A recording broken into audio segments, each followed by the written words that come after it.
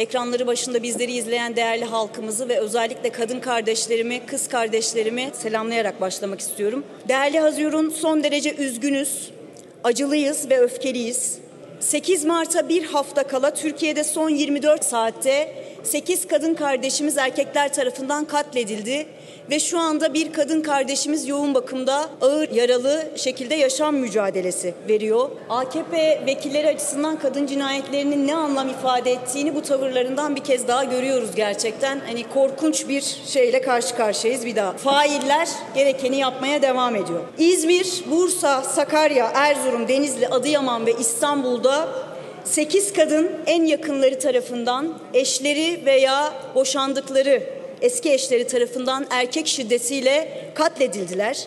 İsimlerini tek tek saymak istiyorum.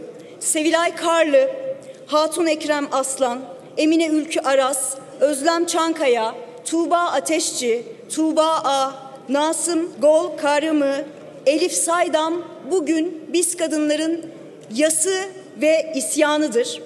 Değerli Hazirun özellikle ifade etmek isterim ki 24 saat içerisinde işlenen 8 kadın cinayeti tesadüfi ya da münferit değildir. Bu cinayetler politiktir. Kadın cinayetleri politiktir. İktidarın yürütmüş olduğu kadın düşmanı politikaların eseridir ve ağır sonuçlarıdır ne yazık ki. Ve bizzat burada bu iktidar koltuklarında oturan milletvekillerinin sorumluluğu vardır bu cinayetlerde değerli Hazirun.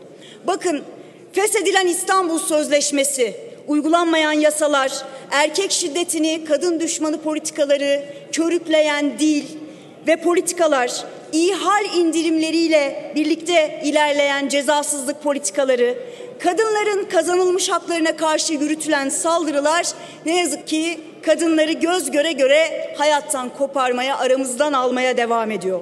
Özellikle İstanbul Sözleşmesi'nden çıkılmasının ardından ülkemizde taciz, tecavüz, erkek şiddeti oranlarında çok ciddi bir artış söz konusu.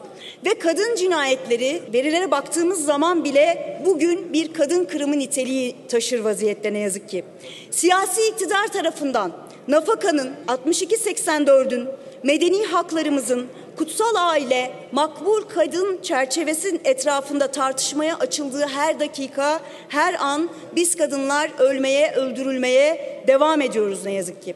Ve geldiğimiz aşamada bizzat iktidar partileri tarafından yaratılan bu erkeklik düzeni, yaratılan kadın düşmanlığı iklimi çok açık ve net bir şekilde hepimiz görüyoruz. Bu anlamıyla bir kez daha ifade etmek istiyorum değerli Hazirun.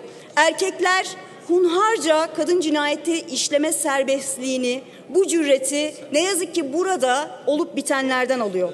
Yargısal teşviklerden alıyorlar. Cezasızlık politikalarından, şiddetin bilerek ve isteyerek önünün açılmasından alıyorlar. Örneğin bugün bu mecliste kamuoyuna yargı reformu adı altında sunulan 8. yargı paketi görüşmeleri yapılacak.